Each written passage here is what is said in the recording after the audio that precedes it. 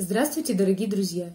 Меня зовут Карадима Татьяна, я художник, э, критик э, международного конкурса Golden Time и живу в Греции.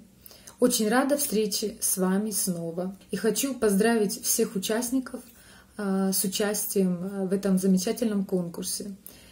Также хочу отметить, что работы покорили меня своей грамотностью, выразительностью, мастерством, творческим подходом авторов.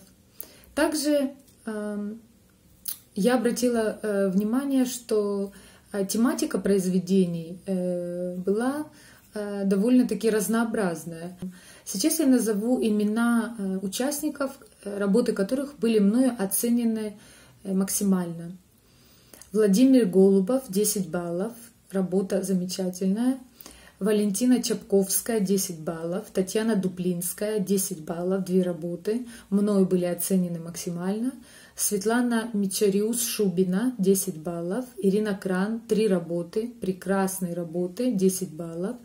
Аскер Явадов 10 баллов, Зукхова Оксана 10 баллов. А, не стоит забывать, что художники формируют эстетическое восприятие и наше отношение к действительности – отношение к действительности зрителя. Художник смотрит на окружающий мир слегка отстраненно. Это и позволяет ему объективно оценивать события. Думаю, вы со мной э, согласитесь. А, также это помогает ему создавать и творить. Выбор темы художником обусловлен его поисками истины. Хочу подчеркнуть, поисками истины – и насколько образно, художественно выразит это художник в своем произведении, настолько это передастся зрителям. Это был зрителю, это был э, мой основной критерий в оценке работ, тематика. Не стоит об этом забывать. А, недостаточно мастерства, недостаточно грамотности, таланта. Э, важен еще э, и очень важен духовный мир автора.